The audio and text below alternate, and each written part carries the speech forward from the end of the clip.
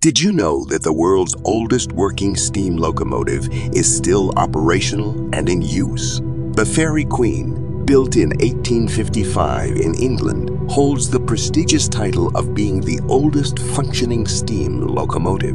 It is now part of the Indian Railways and operates on a heritage route between Delhi and Alwar in India.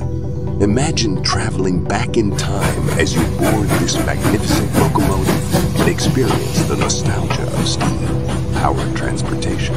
The Fairy Queen is a living testament to the incredible engineering of the past and continues to delight passengers with its timeless charm.